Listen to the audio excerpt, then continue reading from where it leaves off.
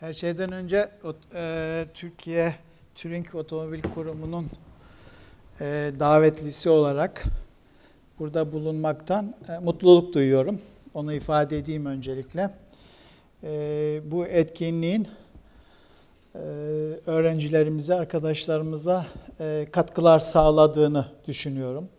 E, hayırlı bir e, etkinlik. İnşallah uzun yıllar bu faaliyet devam eder. E, ben sizi çok sıkmadan e, bu Başarmaya Mecburdum adlı e, nehir e, söyleşiden e, bahsedeceğim. Bu nehir söyleşi benim bizzat hayatta yaşadıklarım. E, çok kısa e, hayatımdan bahsedeceğim. Daha sonra mesleki çalışmalarımı arz etmeye çalışacağım. Çok fazla sizi sıkmadan toparlayacağım. Sonunda da varsa sorularınızı al alacağım. Biliyorum e, ülkemizin güzide üniversitelerinden e, öğrencilerimizsiniz. Çeşitli dallarda eğitim görüyorsunuz.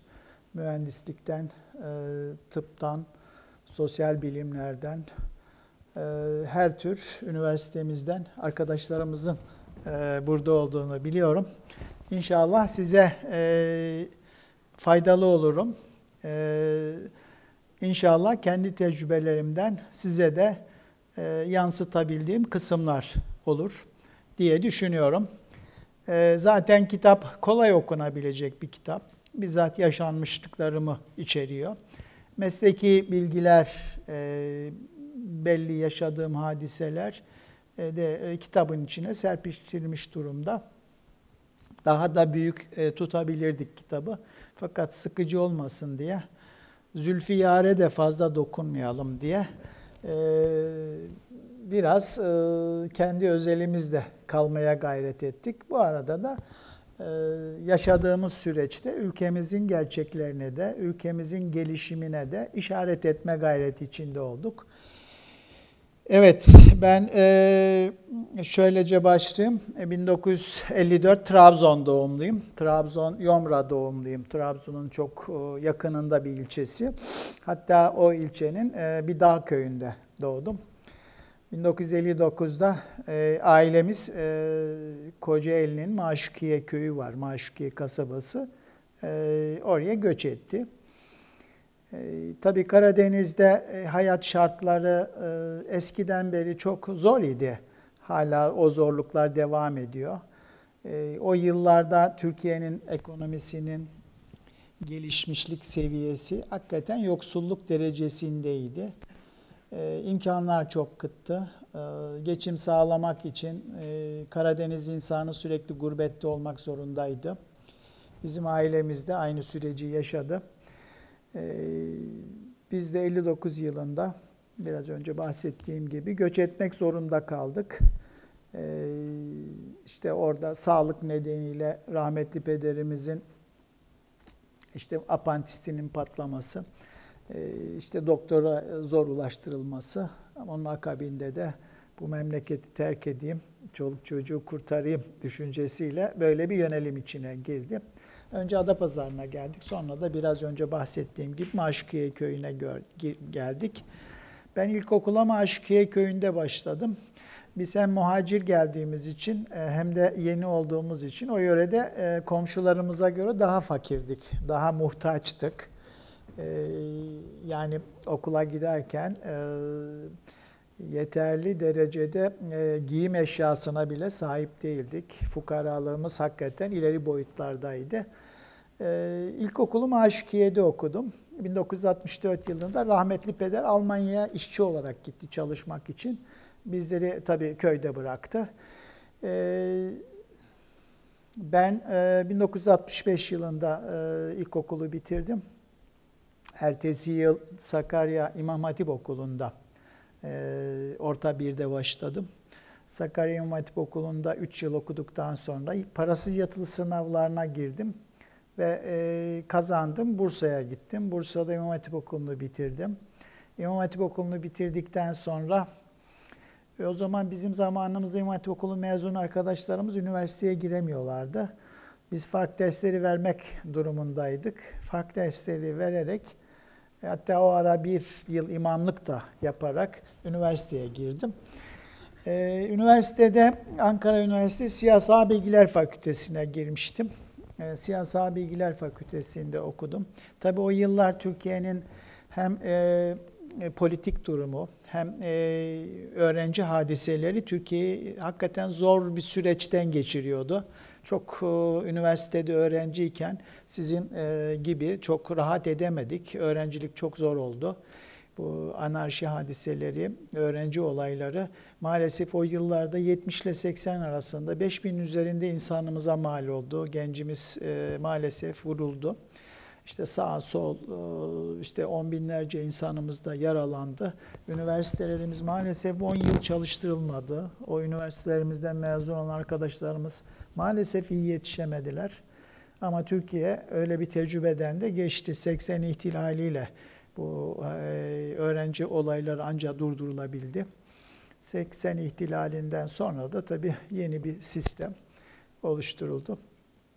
Ben e, Siyasal Bilgiler Fakültesini bitirdikten sonra e, Maliye Bakanlığı'nda hesap uzmanlığı sınavına girdim. Hesap uzmanlığı oldum Maliye Bakanlığı'nda meslek örgütü olarak. Hesap uzmanlığı daha çok Maliye Bakanlığı'na üst düzey yönetici yetiştiren, vergi e, konularında uzmanlık oluşturan bir birimdi. Üç yıllık bir e, süreci var, muavinlik dediğimiz süreci var. O dönem yani bir e, doktora çalışmasına bedel bir dönem. Aşağı yukarı 2000 civarında öğrenci giriyor sınava o dönemde. Onun içinden işte 10 kişi, 15 kişi seçiyorlar.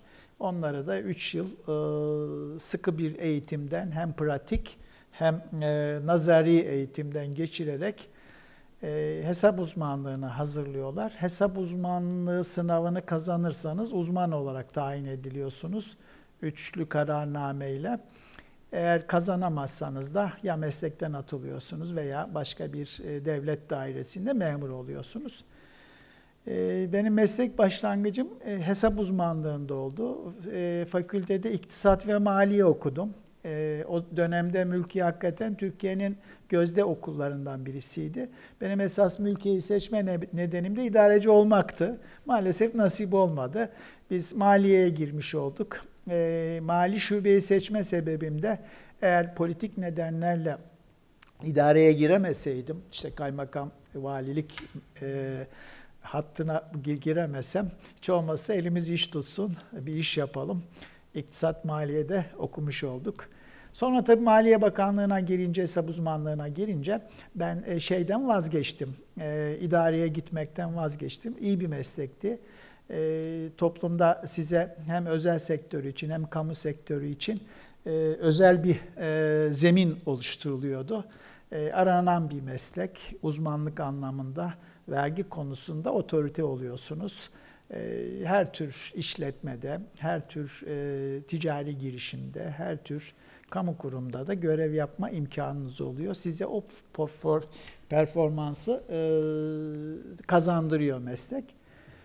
Ee, üniversite bitti, hesap uzmanlığına girdik. Hesap uzmanı olduk, askerliğimizi yaptık.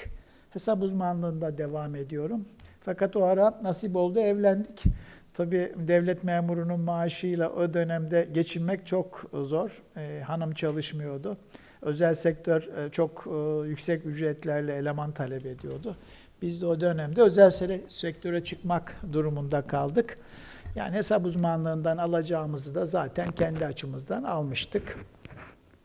Özel sektörde bu STFA grubu vardı. Sezai Türk, Türkeş Fevzi Akkaya grubu vardı.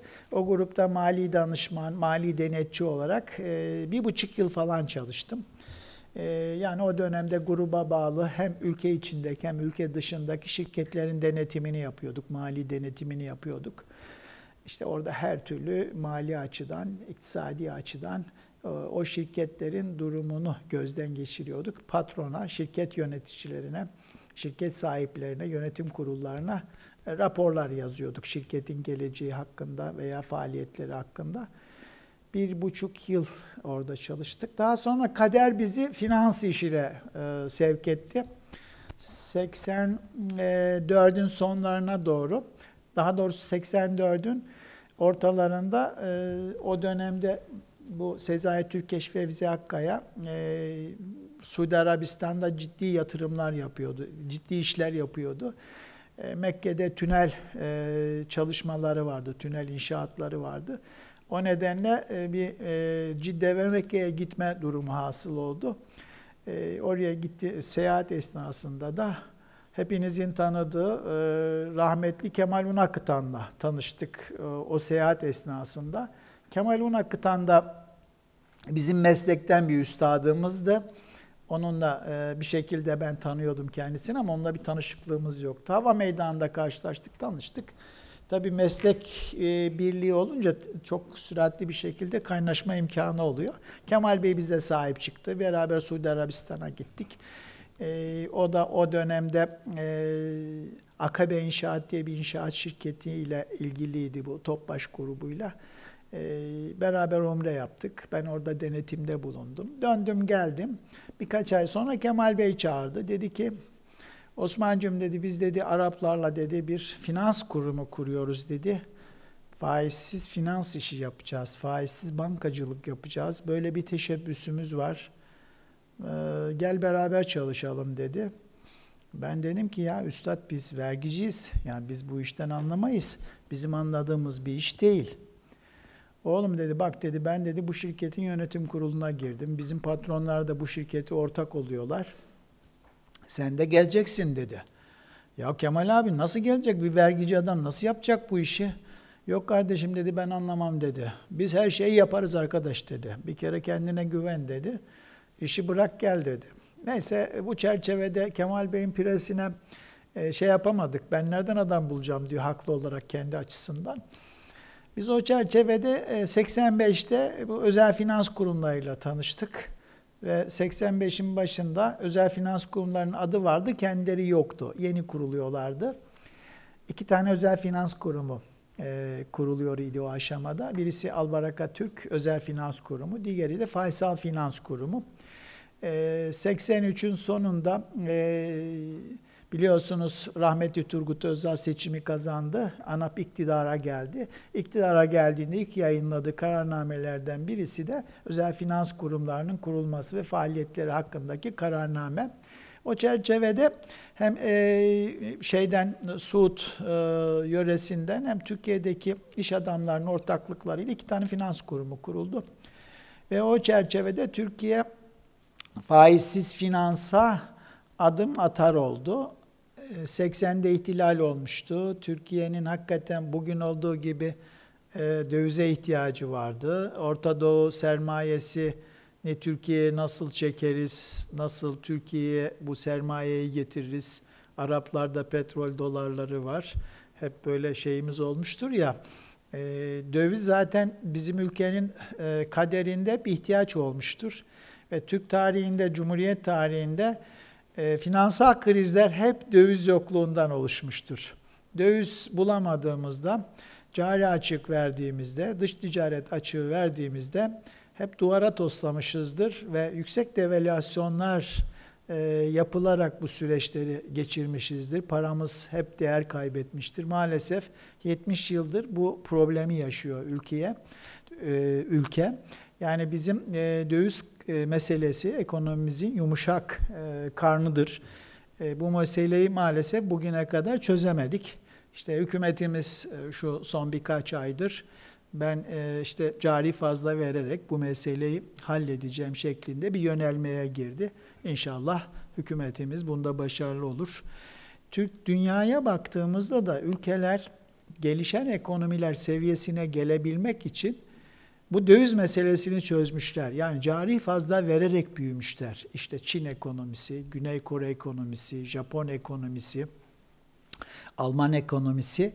Yani bunların e, önemli bir kısmı bir üst gelir seviyesine sıçrayabilmek için e, gelir fazlalığı oluşturarak bunu yapmışlar. Borçlanarak ülkeyi kalkındırmak, sürekli borçlanmak sizi bir yere taşıyamıyor maalesef.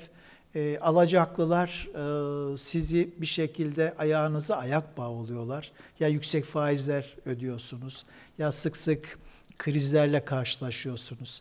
Krizlerle karşılaştığınızda da e, ülkenin serveti azalıyor. O servette kayıplar ortaya çıkıyor. Servet transferleri oluyor.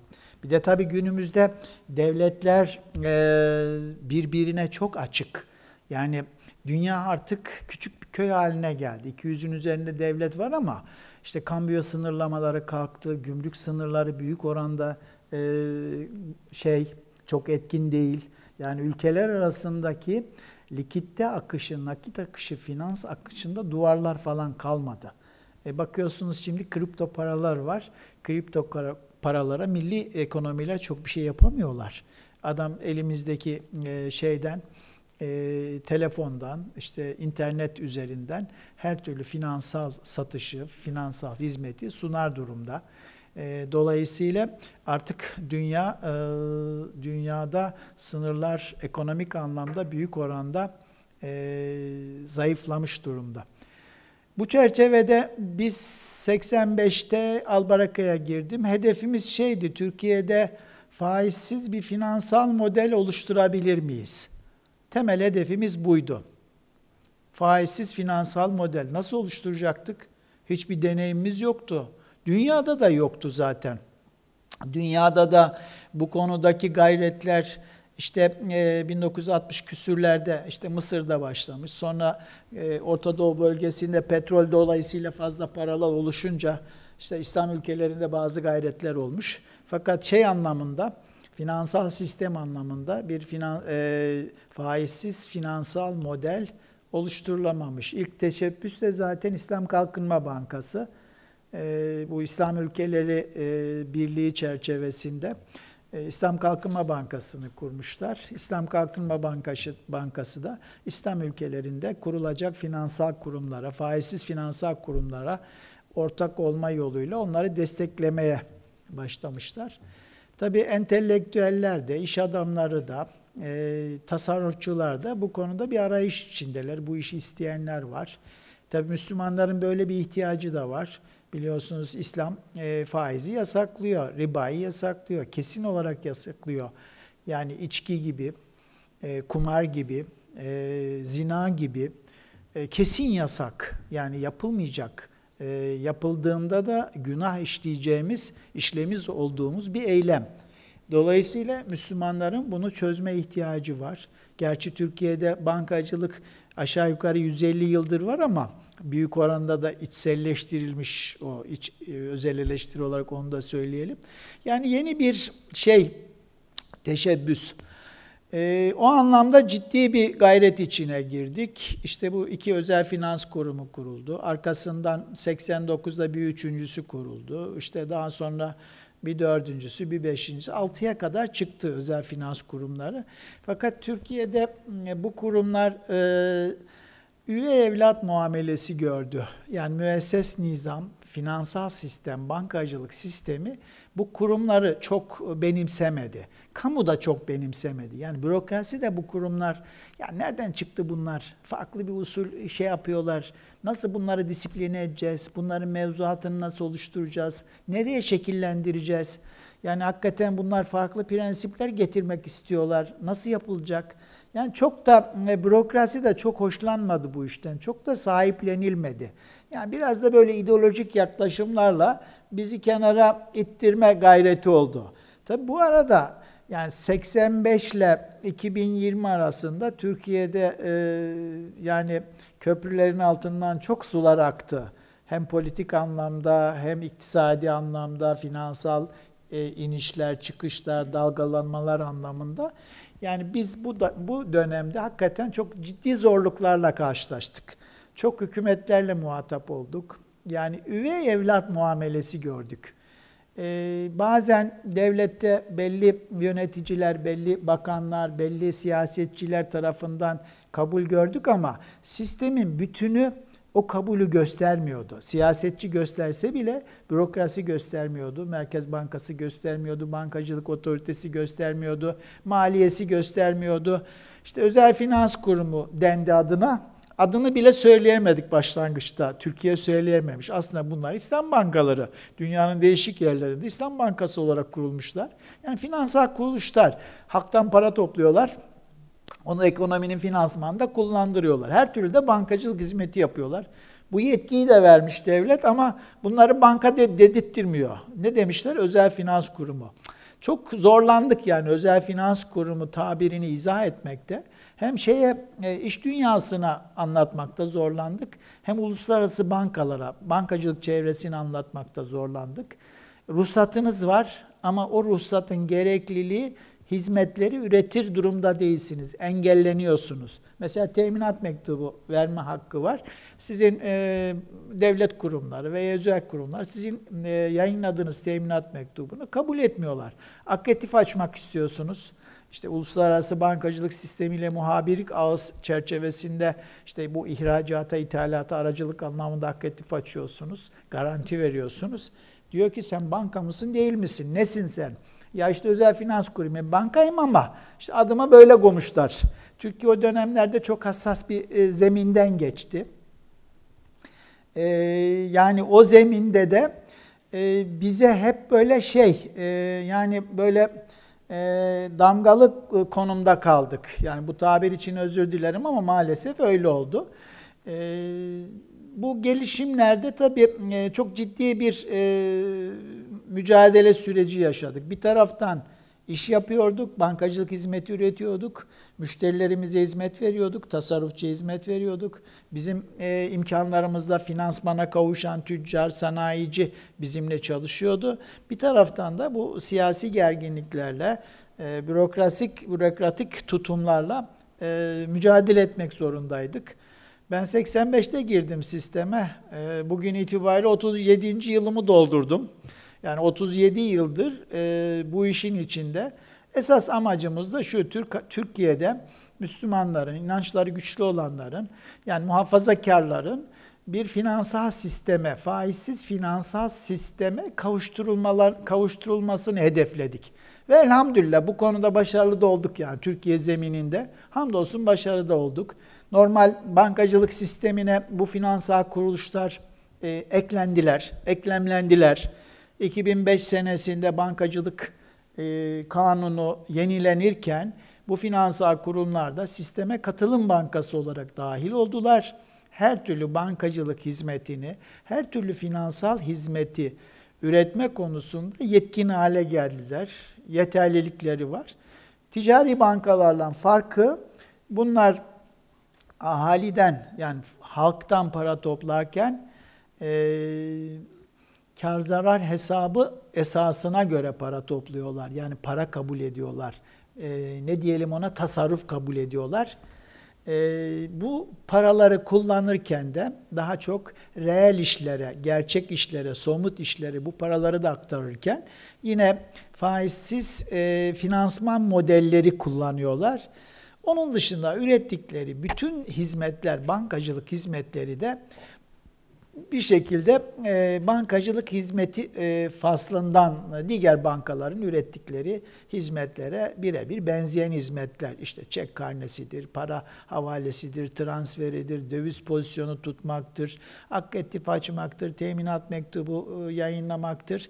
Yani normalinde tüccarın, sanayicinin veya vatandaşın, bireylerin bankacılık finansal hizmetlerini karşılama e, gayreti, Hatta e, katılım bankaları da işte nedir bireysel finansman anlamında evdir, araçtır, işte kredi kartıdır, her türlü e, finansal hizmeti yapar hale geldiler.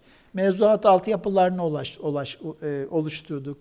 Yani mevzuat anlamında, düzenleme anlamında, regülasyon anlamında da hamdolsun bir şeyimiz kalmadı, sıkıntımız kaldı, kalmadı. Tabii bu süreçte, bu geçen 37 yılda çok ciddi kırılmalar da yaşadık. İşte bir hadise yaşadık, ihlas finans hadisesi yaşadık. Arkadan bankasya hadisesi yaşadık. E onlar da bizim sektörümüzün kendi kırılmaları oldu. E, o kırılmalardan hakikaten e, yara da aldık, e, sıkıntı da yaşadık. Ama o kırılmalar, hadiselerden dersler de çıkardık. Mesela İhlas Finans Kurumu hadisesinde maalesef devlet üzerine düşen görevi yapmadığı için adam topladığı paralarını paraları kendi bünyesinde e, harcadı. E, o grup e, İhlas Finans'ın sahip olduğu grup. Halbuki devletin ona müdahale edip e, mani olması lazımdı. E, görevini yapmadı. Adamlar tasfiyeye sokuldular. Tasfiyesini bu sefer devlet nezaret etmedi. Etmesi lazımdı. Yani nedendir? E, siyasi nedenlerden veya beceriksizlik nedeniyle veya ihmal nedeniyle maalesef e, oradaki sıkıntı diğer finansal kurumları da sıkıntıya soktu o dönemde 2001 yılında. E, daha sonra işte hem birlik e, kuruldu da önce özel finans kurumları birliği kurduk. Arkasından Katılım Bankası olunca da Türkiye Katılım Bankaları Birliği kuruldu. Ben de Katılım Bankaları Birliği'nin ilk genel sekreteri oldum. Aynı zamanda Albaraka'da da yönetim kurulu üyesiydim. Dolayısıyla e, bu süreçte e, yani 37 yıldır e, bu işin içinde hakikaten çok ciddi bir e, gayret ortaya koyduk. Ben işte bu işin e, başlangıçtan beri işin içinde bulunan birkaç kişiden biriyim. E, bütün çalışma hayatım bu sektör içinde geçti. Temel hedefimiz dediğimiz gibi e, faizsiz bir finansman modeli, faizsiz bir finansal endüstri oluşmak, oluşturmak oldu. Hamdolsun bugün Türkiye'de üç çeşit bankacılık var. İşte mevduat bankacılığı, ticari bankalar dediğimiz, katılım bankacılığı, işte bizim e, sunduğumuz finansal hizmet, bir de kalkınma ve yatırım bankaları. E, bunların da denetleyeni, gözetleyeni yine bankacılık otoritesi, BDDK dediğimiz Bankacılık Düzenleme Denetleme Kurumu dediğimiz otorite. E, hamdolsun sistem yeterli güvenliğe kavuştu. Denetim anlamında, düzenleme anlamında, güvence anlamında. Diğer taraftan bu kurumlarda e, tasarruf mevduatı sigorta e, güvencesi yoktu. 2001 krizinden sonra biz o güvence fonunu da oluştuk, oluşturduk. Tabii bu işin kendi prensipleri çerçevesinde e, bunu yapar olduk. Hamdolsun şimdi sistem işliyor. E, gayet de iyi gidiyor. Özellikle 2000'lerden sonra e, AK Partisi iktidarı e, bu katılım finans dediğimiz finansal sisteme e, ciddi anlamda destek olmaya gayret ediyor. E, düzenlemeler yapılıyor. E, ekosistemi oluşturma konusunda da yani katılım bankaları dışındaki faizsiz finansal e, hizmetleri, kuruluşlar oluşturmak için ciddi bir çalışma var. Biz de o çalışmaya e, şey olarak, birlik olarak ciddi destek veriyoruz. Ekosistem varsa finansal market, finansal piyasa oluşuyor.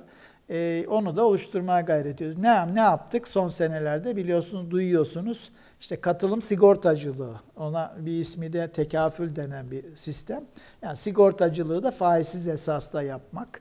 İşte sermaye piyasası ürünlerinde faizsiz prensipler çerçevesinde oluşturulmuş sermaye piyasası ürünleri oluşturmaya gayret ettik.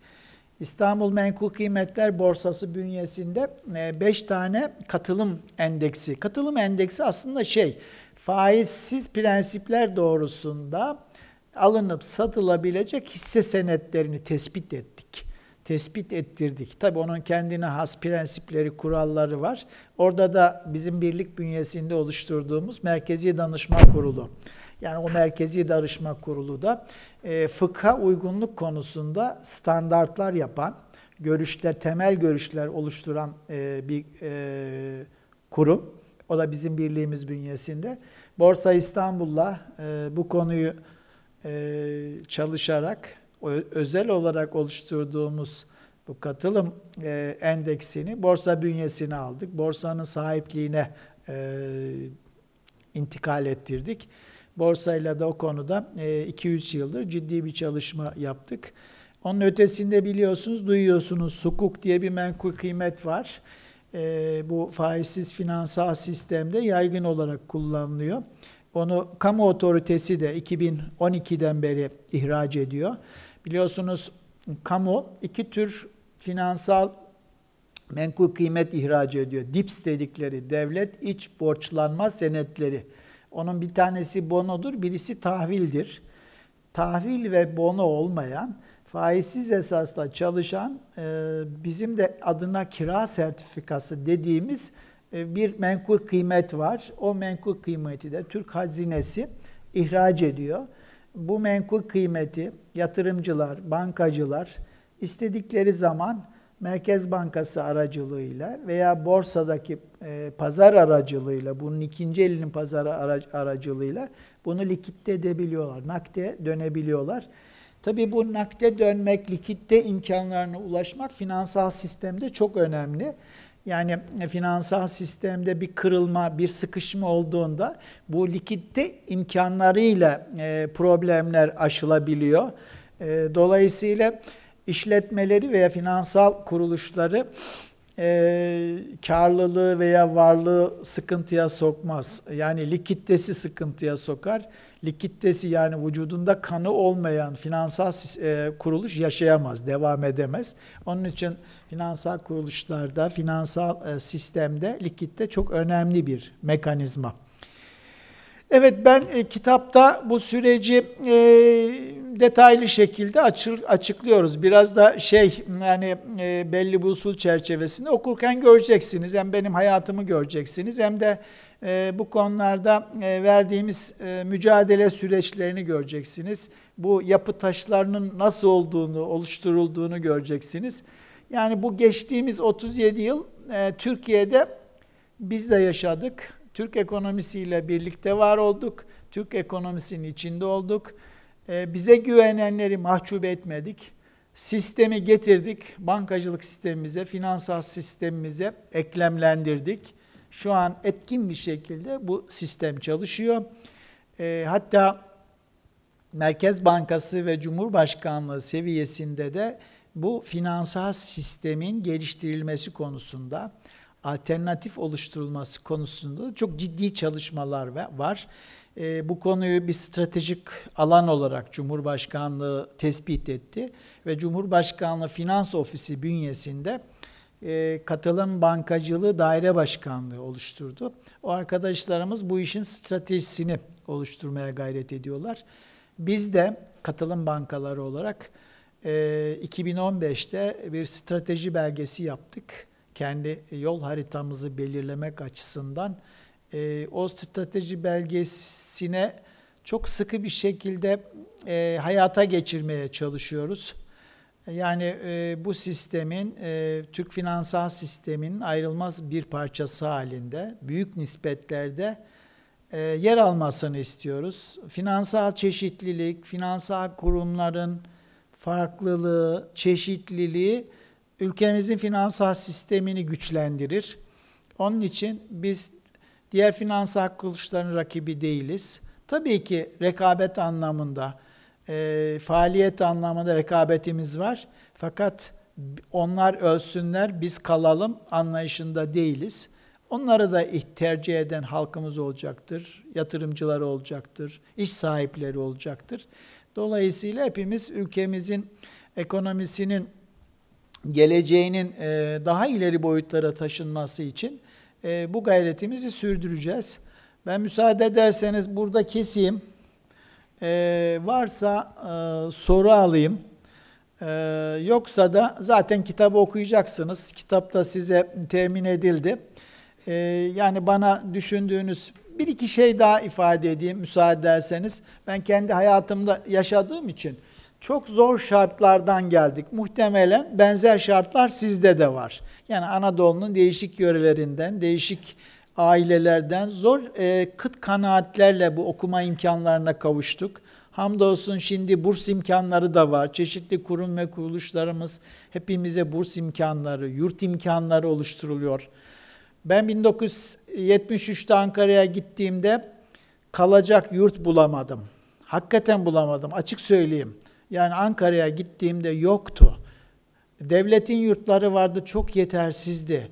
Yani müracaat ediyorsunuz 3 ay mıdır, 5 ay mıdır? Yani öyle sürünüp durduk Ankara'da. Tabir caizse handan bozma bir yurt vardı, orada kaldık. Başka da çareniz yok. Dolayısıyla şimdi burs imkanları, o dönemde çok burs imkanı da yoktu. Ee, ben Maliye Bakanlığı'ndan burs aldım. Ee, Maliye Bakanlığı'ndan nasıl burs aldınız diyeceksiniz. Okula 26. sırada girmiştim. İlk 20'ye Maliye Bakanlığı burs veriyordu, karşılıksız burs. Demek ki o arada 5-6 kişi almamış, sıra bana geldi. Yani 26. sıradan ben de burs aldım, 300 lira burs aldım. E, o burs tabii çok önemliydi bir öğrenci için. 4 yıl bir ceket giydim. Yani onun dışında bir doğru düz bir giysim de yoktu. Dolayısıyla kıt kanaat, kıt imkanlarla geliyoruz. Üniversiteye geldik. Üniversitelerin değişik bölümlerinde okuyoruz. Lütfen kendinizi çok iyi yetiştirin. Çok çalışacağız. Çalışmak zorundayız. İyi yetişeceğiz. Ha, mühendissek mühendisliği, psikoloji, psikoloji okuyorsak psikolojiyi, tıp okuyorsak tıbbı, sosyal bilimlerde eğitim görüyorsak, neyi yapıyorsak en iyisini olmak durumundayız. Onu hedefleyin lütfen. Mutlaka bir yabancı dil öğrenin. Yani bu şimdi imkanlar çok daha bol. Çok daha e, imkanlarımız var. Artık bilgi neredeyse kulaklarımızdan içeri girecek. O kadar çeşitli bilgi var ki. Dolayısıyla bu imkanları iyi değerlendirin. Siz kaliteliyseniz, siz nitelikliyseniz, siz yeterliyseniz, siz doluysanız gelecek sizin. Hiç tereddüdü yok bunda. Yani mutlaka öne çıkarsınız. Siz yeterince gayreti gösterin. Hiçbir gayret, hiçbir e, sıkıntı e, nimetsiz olmaz. Mutlaka nimete ulaşırsınız. Yani benim sizin bir abiniz olarak yani 30-40 yıl önce mezun olmuş bir abi. Ben tabii mezun olalı 44 yıl olmuş bu arada onu da söyleyeyim. 78 mezunuyum. Yani az bir zamanda değil 44 yılda iş hayatında çalışıyoruz. Hamdolsun her türlü imkana da kavuştuk. Yani e, çok fakir bir zeminden çıkmıştık. Çok iyi bir imkanlara kavuştuk. Kariyer yapma imkanımız oldu.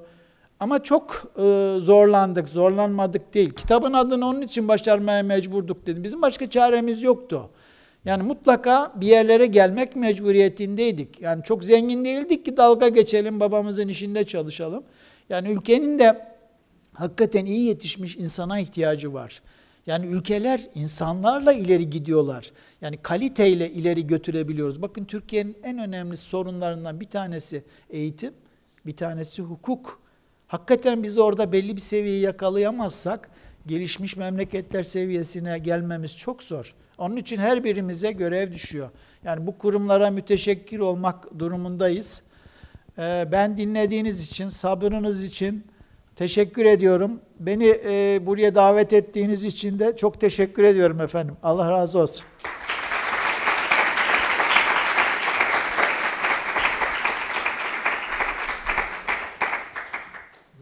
Öncelikle Merhaba. sunumumuz için teşekkürler. Ben Serkan Demir İstanbul Üniversitesi Hukuk Fakültesi'nde okuyorum. Memnun Dediğiniz gibi gerçekten hukuk ve eğitim olmadan bir ülkede gelişmişlik çok zor ilerliyor. Benim sorum da bu yönde. Siz hem ilgili bir kurumun genel sekreteri hem de bankacı ve vergide uzman kişi olarak Türkiye Cumhuriyeti'ndeki serbest piyasaya müdahaleler, karşılıksız para basma ve aşırı vergilendirme hakkında ne düşünüyorsunuz? Ya tabii e, Türkiye e, uzun yıllar serbest piyasayı seçmiş durumda. Uzun yıllardır. E, çünkü Türkiye'nin kalkınması da oradan geçeceğini biliyoruz. Türkiye bu serbest piyasadan ciddi anlamda çok iyi istifade etti. Yani bunu bunu söyleyelim bir kere. Yani Türkiye 70'lerdeki, 80'lerdeki, 90'lardaki Türkiye kesinlikle değil. Yani bu süreçte hatalarımız oldu, siyasal hatalarımız oldu e, toplumsal hatalarımız oldu ama Türkiye hep ileriye taşındı. Yani bunun da en önemli sebebi açık toplum olması. Dediğiniz gibi e, serbest piyasa ekonomisini uygulama gayret içinde oluyor olması, Türkiye'nin dünyaya açık hale gelmesi, Türkiye hakikaten 80'den önce dünyaya açık değildi maalesef. Çok tutucuydu özellikle döviz konusunda, e, kambiyo konusunda çok sınırlayıcı kuralları vardı. Yani dünyaya kapalı İthal ikamesi bir e, sanayileşme stratejimiz vardı.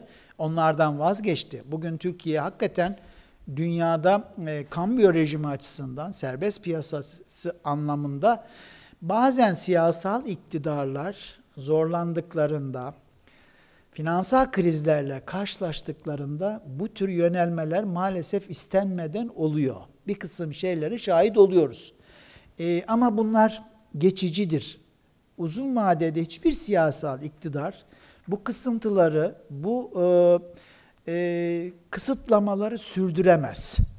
Yani ben şunu söylüyorum, bakın açık söyleyeyim. Türkiye bugün dünyaya açık bir ülke. Yani Türk ekonomisinin e, varlığı, Türk ekonomisinin e, ürettiği milli gelir sadece bizi ilgilendirmiyor. Türkiye'de faaliyet gösteren yabancı sermayeyi de ilgilendiriyor. Bizim Türkiye'deki işletmelerimizin çok önemli bir kısmı yabancı sermaye.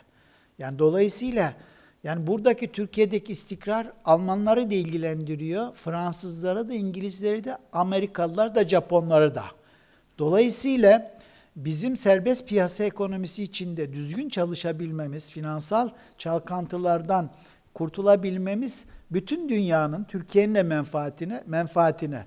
Dolayısıyla e, bu tür şeyler olacak, olmaya da devam edecek. İnşallah e, yönümüzü sapıtmadan daha e, gelişmiş bir e, ülke olmaya doğru gideceğiz. Ben ancak bunu söyleyebilirim. Temennim de bu yönde olur. Merhaba hocam. Teşekkür ederiz. Biz teşekkür ee, ederiz. Yani çok kıymetli bir sunum oldu bizim için. Estağfurullah. Veyseroğlu, İstanbul Medipol Üniversitesi Siyaset Bilimi ve Kamu Yönetimi öğrencisiyim. Ee, hocam benim sorum borsadaki endekslerle ilgili olacaktı. Ee, şimdi 35 yılda, 40 yılda siz de bahsettiniz. Çok şey değişiyor hem Türkiye'de hem dünyada. Ee, Borsa İstanbul'a 5 tane hisse senedinin çıktığından bahsettiniz. Yanlış telaffuz ediyorsam affınıza sınırım. Ee, bu hisse senetlerini hocam işte ben ya da dışarıdaki birkaç kişi böyle abiyane tabirle incelediği zaman helalliğe bazen uzak olduğunu düşünebiliyoruz. Yani bazı kıstasları oluyor ama biraz uzak olduğunu düşünüyoruz ve bunun da aydınlatıcı olarak e, çok fazla bilgi donanımına sahip olamayabiliyoruz. Dün Kombasan şirketi ile ilgili yahut benzer şirketlerle ilgili e, büyüklerimizin genel düşüncesi evet bu kesinlikle helaldir, çok iyidir gibi ifadeler varken bugün borsada İstanbul'daki şirketlere bu tarz bir bakış açısı olmuyor. E, biz buraya yani ben bir yatırımcı olmak istiyorum diyelim ki e, buraya bakışımız nasıl olmalı? Helalliğe dikkat etmek istiyorum ve e, helalliğe dikkat eden bir şirkete yatırım yapmak istiyorum. Buradaki bakış açım daha çok hangi boyuttan olmalı? Bunun hakkında biraz e, bilgi verebilirsiniz memnun olurum. Teşekkür ederim. Şimdi biraz önce bahsettim ama yeterince detay malumat vermedim. Biz borsada e, bu katılım endekslerini oluştururken e, çok ciddi bir çalışma yaptık. Aşağı yukarı bir yıl aşkın bir çalışma yaptık bu bizim Merkezi Danışma Kurulu dediğimiz kurul e, hisse senetleri ve pay senetleri standardı diye bir standart oluşturdular. O standart e, İslami prensipler çerçevesinde hisse senetlerinin hangi e, efsapta olması gerektiğini tespit eden kurallar. Borsa İstanbul o kuralları Borsa İstanbul'daki 450 şirkete uyguladı. Ve onlardan 165 şirketi bu kurallara uygun buldu. 165 şirketten bu endeksi oluşturdu.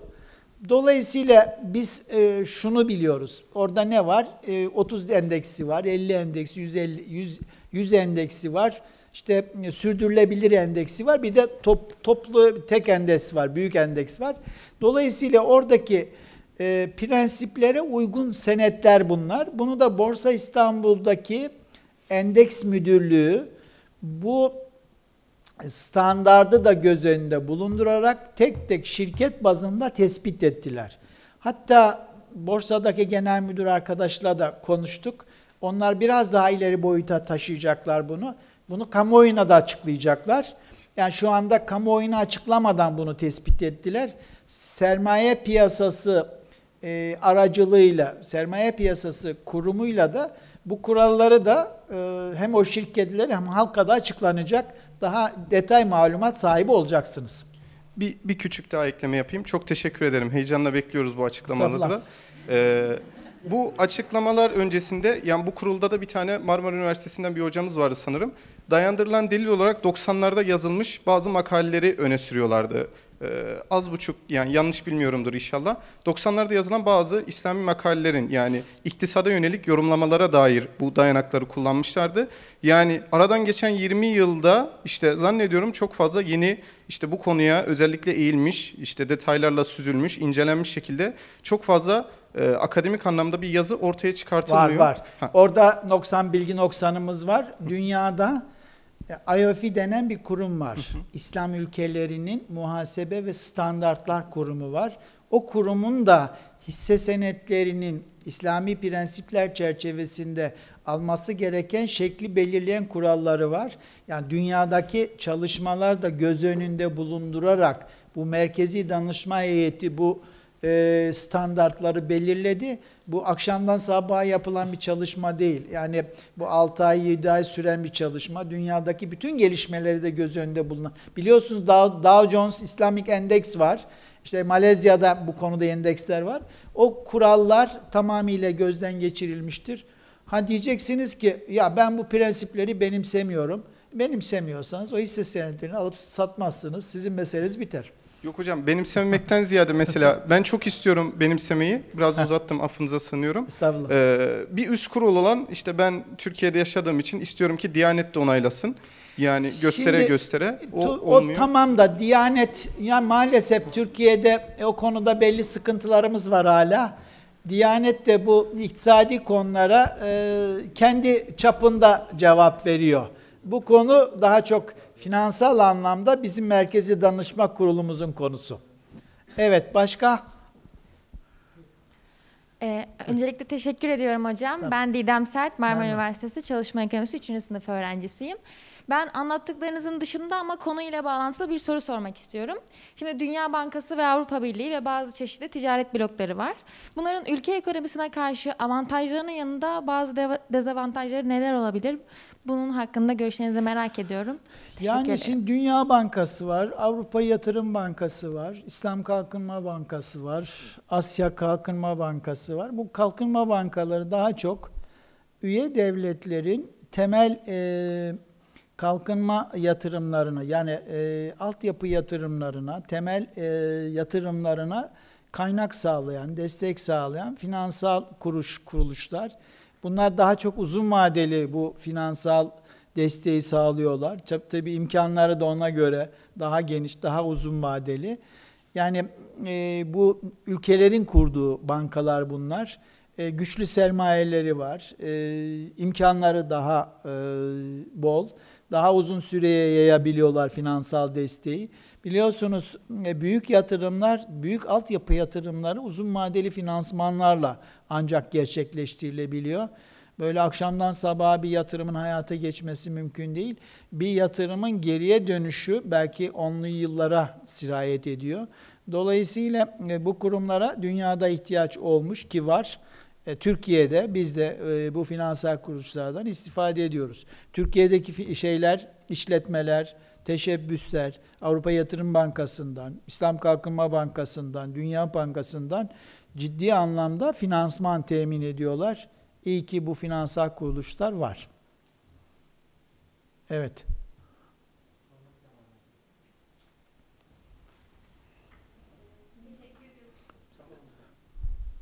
Teşekkür ediyorum konuşmanız için. İlgiyle dinledim ben de. Teşekkür ederiz. Ee, bir şey soracağım. Bir şey sormak istiyorum. Nur Sen Açam ben Mimar Sinan Güzel Sanatlar Üniversitesi Mimarlık 3. sınıf öğrencisiyim. Maşallah. Şey demek istiyorum. Şimdi halk e, belli bir maaş alıyor. Herkes yani insanlar maaş alıyorlar. Ev almak istiyorlar, araba almak istiyorlar. Tabii ki. almak ev almak istiyor, araba almak istiyorlar. Ve hani bizim İslami kesim bunu biraz şey olarak görüyor. Nasıl desem kredisiz alamıyoruz. Belli bir şey olmadan. Kredi al, almadan alamıyoruz. Katılım bankasına yöneliyorlar. Ben burada şeyi merak ediyorum. Diğer bankaların faizi faizle çalışma şekilleri anlayabiliyorum yani. Tamam bu şu kadar faiz bana ödeyeceksin diyor. Ama katılım bankasında neye göre belirleniyor bu veya nasıl oluyor bunu merak ediyorum. Evet. Ya müsaade ederseniz ben izah etmeye gayret edeyim. Katılım bankalarımız da hem otomobil e, finansmanı yapıyorlar hem de konut finansmanı yapıyorlar. Hatta bu evim şirketleri var. Tasarruf finansman şirket dediğimiz şirketler var. Onlar da devlet şimdi disipline etti. Yani 3-5'e indi. E, daha sağlam kurumlar geliyor. Onlara da e, sermaye zorunluluğu geldi. Vatandaşlar şey edilmesin diye, istismar edilmesin diye, aldatılmasın diye. E, biz arabayı veya evi alırken e, müşterinin talebini alıyorsunuz. Ne boyutta bir ev alacağını soruyorsunuz. Ne kadar kendisi para koyacak ona bakıyorsunuz. E, müşterinin bunu ödeme gücü var mı? Geri ödeme şeysi imkanı var mı ona bakıyor. Ne kadar vadede bu parayı e, geri ödeyebilir? Sizin otomobil ve ara, araç almak için temini vereceğiniz parayı ne kadar vadede geri ödeyebilir? Ödeyebilir. Onlara bakıyorsunuz. Ona bir ödeme planı çıkarıyorsunuz. O ödeme planı çerçevesinde de o finansmanı yapıyorsunuz. Biz o finansmanı yaparken de e, bir üretim desteği dediğimiz bir finansal modelimiz var. Onun Arapça ismi de murabaha dediğimiz. Murabaha e, formatında e, o aracı, o evi, istediğiniz aracı, istediğiniz evi, beğendiğiniz, seçtiğiniz evi, e, sizin paranız olsa zaten kendiniz gidip alıyorsunuz. Paranız olmadığı için biz alıyoruz. Vadende siz para da katıyorsunuz. Alıp size vadeli satıyoruz. Ve siz başlangıçta ne kadar vade farkı ödeyeceğiniz, ne kadar kar, bankaya kar ödeyeceğinizi biliyorsunuz. Kaç taksit ödeyeceğinizi, kaç senede bu ödemeyi yapacağınızı biliyorsunuz. Bunda zaten mutabık kalırsanız bu işi yapıyorsunuz. Yani bu bir nevi bir alım satım işlemi. Evet. Evet buyurun.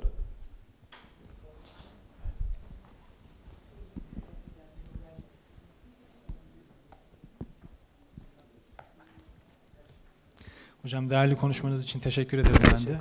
İsmim Yusuf Enes Karaman. Marmara Üniversitesi İslam Bilimler Bölümü 2. sınıf öğrencisiyim. Çok güzel. Ee, şimdi bu faizsiz katılımcı, yani faizsiz bankacılığı kurarken aslında Türkiye'nin böyle büyük çoğunluğunu oluşturan bir kitlenin hassasiyetini benimsediniz. Bunu gözün, göz önüne aldınız.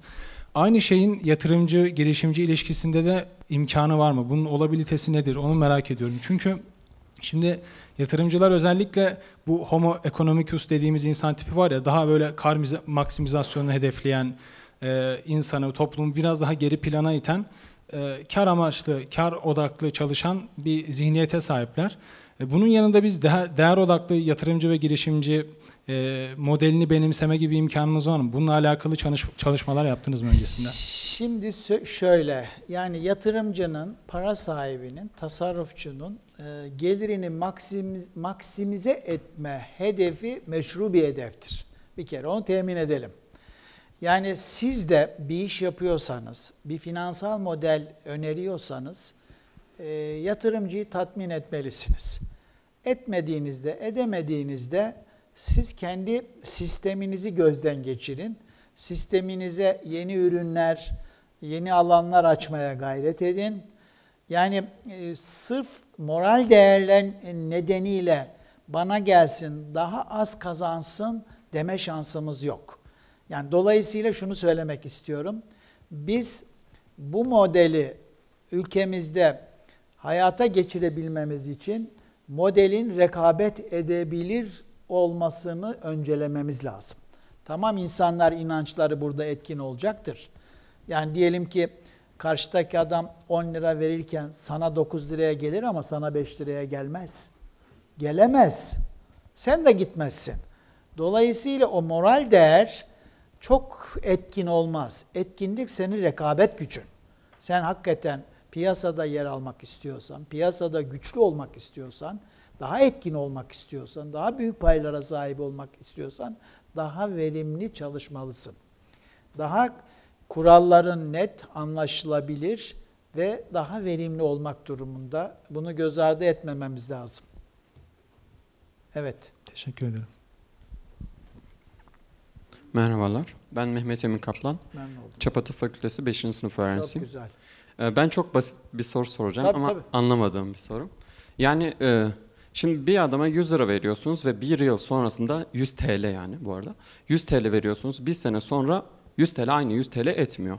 Yani örnek veriyorum bir araba alıyorken bir sonraki sene alamıyorsunuz. Yani satın alma Bu, gücü yok oluyor, azalıyor. azalıyor. Aynen azalıyor. Aha. Şimdi bunun karşılığında e, yani batılı devletler diyeyim bu şekilde nitelendireyim. Faiz diye bir şey üretmiş ve ona karşılık şu kadar e, mesela parayı verene 100 lira veriyorsun, 120 alıyorsun gibi bir sistem kurmuş. Biz e, İslam'da, Müslümanlıkta onu alamıyoruz. Hani e, faiz haramdır. E, bunun karşılığında şöyle bir test sunuluyor. İşte o paranın erime miktarı kadar alabilirsin deniyor. Ama o tam kafama yatmıyor. Yani ben niye o zaman adama e, para vereyim yani? 100 liram ben kendim kullanayım ama e, bir şekilde ticaretin dönmesi lazım. Ben niye vereyim? Bana bunu cezbedecek e, bir sistem var mı Şunu, ya da nedir şu, açıklaması? Şunu Teşekkür söyleyelim. ederim. Şunu söyleyelim. E, faizde de reel faiz var, negatif faiz var. Reel faiz satın alma gücünün üzerindeki bir imkan. Yani 100 liranın diyelim ki geçen yıl siz verdiğiniz 100 lira 10 tane ekmek alıyorsa gene 10 tane ekmek alıp üzerinde sana bir şey kazandırması lazım. Yani 10,5 ekmek sana gelmesi lazım ki e, pozitif faiz olmuş olsun. Şimdi bu İslam hukuku için de geçerli. İslami prensipler için de geçerli. Paranın satın alma gücünü öncelikle korumamız lazım. Yani paradaki enflasyon dolayısıyla yıpranmayı bir kere şey devre dışı bırakmamız lazım. Ya aslında orada fazlalık, faiz anlamında fazlalık net fazlalıktır. Yani artı fazlalıktır. Pozitif fazlalıktır. Biliyorsunuz eskiden bu para sistemi altındı. Orada çok e, enflasyon söz konusu değildi ama şimdi ülkeler sürekli para basıyorlar. Özellikle kağıt para sisteminde, bankacılık sisteminde işte bugün Türkiye'de yaşıyoruz işte enflasyon denen bir olgu var. Son 3-4 aydır Türkiye'yi boğdu. E, dolayısıyla burada negatif e, faize ya bu faizdir deme hakkında hakkına sahip değiliz. Ben şahsen açık söyleyeyim. Ben negatif faizin faiz olduğuna inanmıyorum. Yani İslam'ın kastettiği faiz paraya para kazandırmaktır. Reel anlamda. Ben sana bir altın verip de bir çeyrek altın geri alıyorsam işte faiz o çeyrek altın faizdir. Ama sen geçen sene 100 lira verdim sana. Şu anda enflasyon 120 120 olduysa ben de senden 110 lira alıyorsam ben 10 lira içerideyim. Ben öyle algılıyorum bunu. Teşekkür ederim. Evet. Evet arkadaşlar teşekkür ediyoruz. Allah razı olsun.